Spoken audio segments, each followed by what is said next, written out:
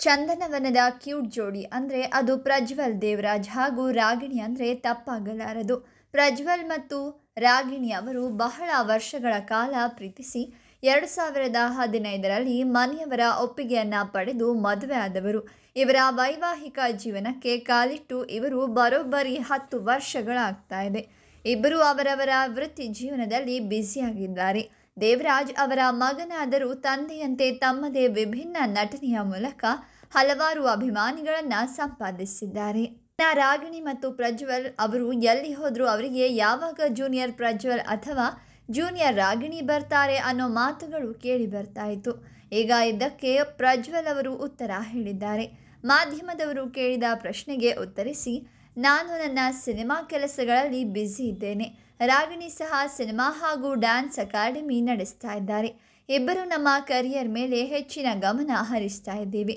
ಮಕ್ಕಳಾದರೆ ನಮ್ಮ ಮಗುವಿಗೆ ನಾವು ನಮ್ಮ ಹೆಚ್ಚಿನ ಸಮಯ ನೀಡಬೇಕಾಗತ್ತೆ. ಸದ್ಯ ನಮ್ಮ ಬ್ಯುಸಿ ಕೆಲಸಗಳಲ್ಲಿ ಸಾಧ್ಯವಾಗದ ಕಾರಣ ಸಮಯ ನೋಡಿ ನಾವು ಪ್ಲ್ಯಾನ್ ಮಾಡಿಕೊಳ್ತೀವಿ.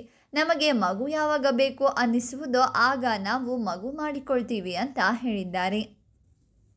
ಇನ್ನು ರಾಗಿಣಿ ಅವರು ಮಾಡ್ಲಿಂಗ್ ಹಾಗೂ ಡ್ಯಾನ್ಸರ್ ಆಗಿ ಗುರುತಿಸಿಕೊಂಡಿರುವವರು ಈಗ ಅವರಿಗೆ ಒಳ್ಳೊಳ್ಳೆ ಸಿನಿಮಾಗಳು ಬರ್ತಾ ಇವೆ.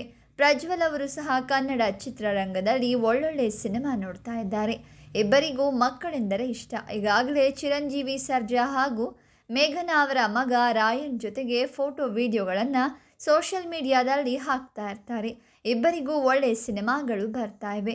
ಇಬ್ಬರು ಒಳ್ಳೆ ಕಲಾವಿದರು ಅನ್ನೋದರಲ್ಲಿ ಯಾವುದೇ ಸಂಶಯವಿಲ್ಲ.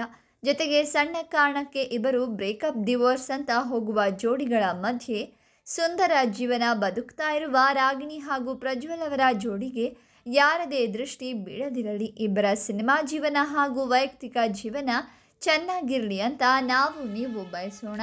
ನಿಮಗೂ ಕೂಡ ಜೋಡಿ ಇಷ್ಟವಾಗಿದ್ದರೆ ವಿಡಿಯೋವನ್ನು ಲೈಕ್ ಮಾಡಿ, ಶೇರ್ ಮಾಡಿ, ಹಾಗೆ ನಮ್ಮ ಚಾನಲನ್ನು ಸಬ್ಸ್ಕ್ರೈಬ್ ಮಾಡಿ.